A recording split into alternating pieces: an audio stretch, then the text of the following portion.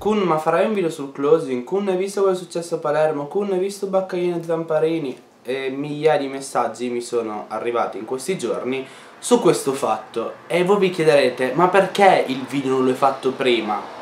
Ma perché raga non sapevo cosa dire, non sapevo davvero di cosa parlare Perché quando ti trovi in momenti del genere Forse è meglio non parlare che dirla tua Anche se eh, conoscendomi non vedevo l'ora di parlarne Ho letto migliaia e centinaia di stati Prese per uh, i fondelli da parte di altre tifoserie Tifosi che già parlano di fallimento Tifosi che giustamente dicono un po' quello che vogliono perché siamo al 2017 e ognuno è libero di dire ciò che vuole. La trattativa Baccaglini-Zamparini si è conclusa ufficialmente. Pensate che doveva concludersi il 30 e eh, fino a mezzanotte non si sapeva nulla e addirittura a mezzanotte tipo sul sito ufficiale è uscito il comunicato delle nuove magliette. Così, a caso, per magari far dimenticare alla gente per un attimo che c'era questo closing io alla trattativa eh, ci ho sempre creduto, sono qui a metterci la faccia anche quest'oggi. Secondo me la trattativa era una cosa reale. Poi ci sono ovviamente quelli che dicono eh, era tutta una, un teatrino, eh, Zamparini ha pagato Baccaglini per far ciò. Io a questo non ci credo perché penso che in questo caso un ragazzo, perché alla fine Baccaglini è un ragazzo, è un uomo ma è molto giovane, non andava a rovinarsi per una cosa del genere. Perché pensandoci bene, a Baccaglini, a parte qualche soldo che poteva dare gli Zamparini, a cosa gli è servita questa cosa? Magari direte che gli sono serviti proprio sti soldi, ma secondo me la trattativa c'era, proprio perché è andata avanti, ci sono state tante eh, fasi trattative, ci sono stati degli avvocati, della gente della finanza, delle banche che hanno controllato se davvero c'erano degli investitori, se davvero c'erano questi fondi, fondi che non sapremo mai se sono esistiti o meno, però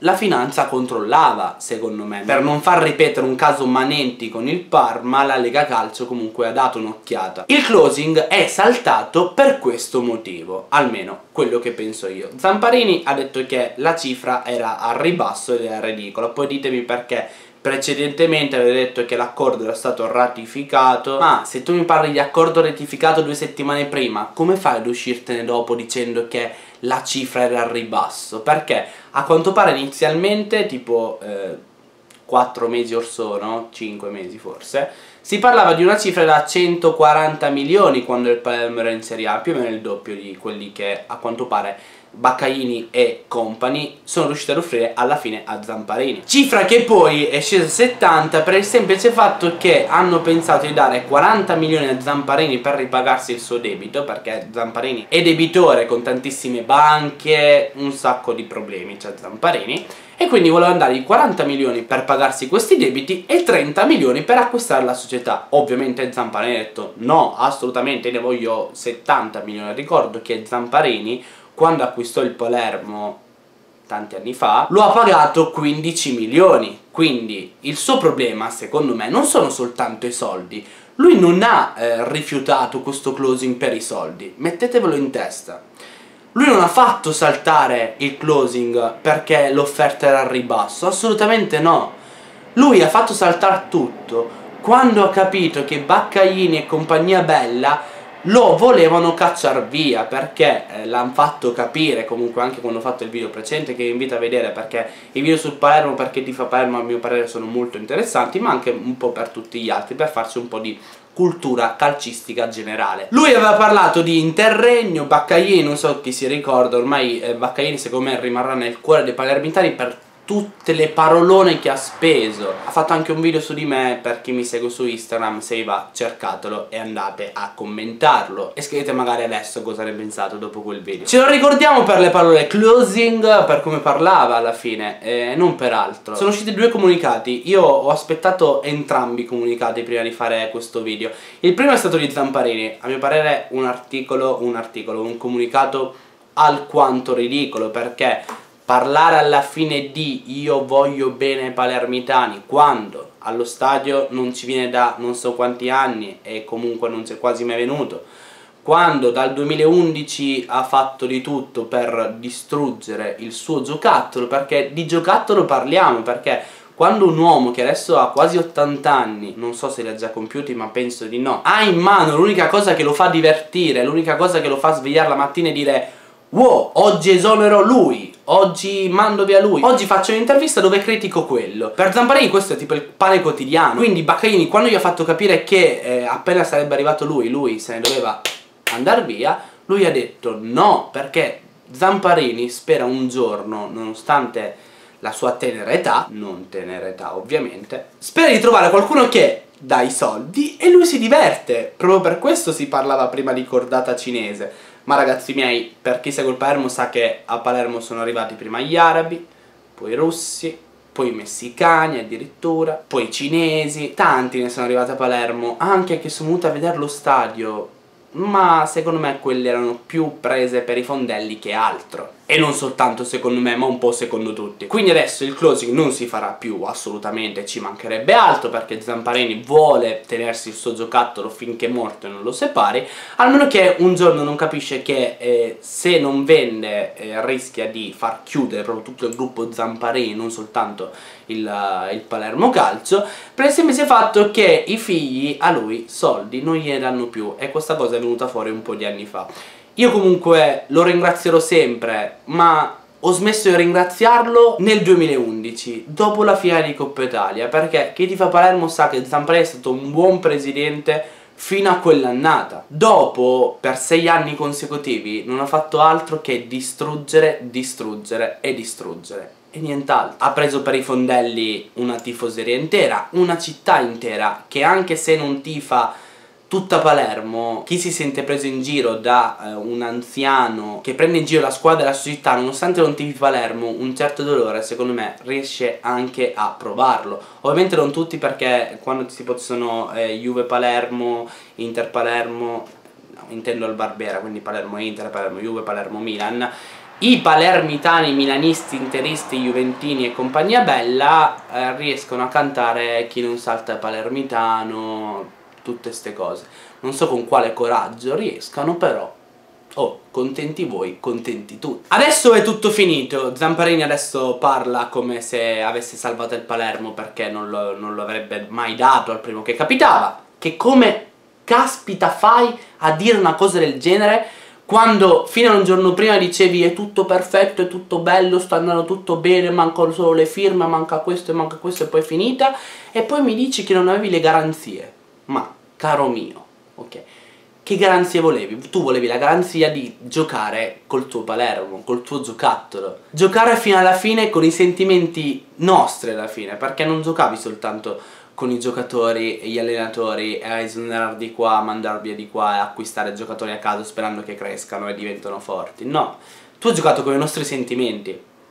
Tutta questa storia è stata una presa in giro a una città intera perché se siete arrivati fin qui dopo 5 mesi a dire che non c'è le garanzie e mi parlavate di accordo ratificato, di eh, tutto pronto, Orlando che si è messo in mezzo e poi salta tutto, vuol dire che c'è qualcosa di malato che non va perché avete aspettato fino ai primi di luglio, tra un paio di giorni cominciano le preparazioni, ok? E voi andate a farvi un ritiro di 12 giorni in Austria o dove diamine è, non mi ricordo, al solito Bad, ci vanno tutti gli anni. Solo 12 giorni di ritiro e poi tornate a Palermo con 40 gradi all'ombra ma state scherzando? Il campionato di Serie B è, il, è molto più difficile della mettetevelo in testa che lì c'è da correre, c'è da lottare. Non basta soltanto saper fare i giochetti. Dybala in Serie B non faceva nulla Belotti in B era devastante, ma perché Belotti era grintoso. Dybala in B era molto più tecnico che grintoso e poi ha imparato ad essere anche grintoso, a recuperare i palloni. Ma servono giocatori italiani e se ne sta parlando, anzi dicono che stanno arrivando giocatori italiani, non è ancora arrivato nessuno e di nomi se ne sono sentiti già tipo 150.000 ma serve una preparazione atletica adeguata per arrivare in fondo a questo campionato. Quindi se tenete davvero a questo Palermo, datevi una svegliata, perché l'unica cosa che può fare il caro Maurizio Zamparini adesso è prendere la squadra e portarla ancora in A. Io sono purtroppo quasi certo che sarà difficile che, che, avvenga questa cosa, quindi non ci resta altro che incrociare le dita e sperare che nei prossimi giorni ci sia qualche novità importante dal punto di vista del calciomercato, perché adesso siamo ancora nelle mani di Maurizio Zamparini e non possiamo fare altro che sperare che si dia una svegliata e che allontani i suoi amici Kurkovic e compagnia bella. Questo video poteva essere più un video sfogo, avrei potuto urlare, bestemmiare, insultare tutti, ma non ho deciso di farlo perché non me la sono sentita, ok? Non mi sentivo in questo momento di far così perché penso che sia un momento molto delicato e partire con le offese, con certe cose, a me non va. Sento molti che non andranno allo stadio, che non si abboneranno e io penso che ognuno è libero di fare ciò che vuole.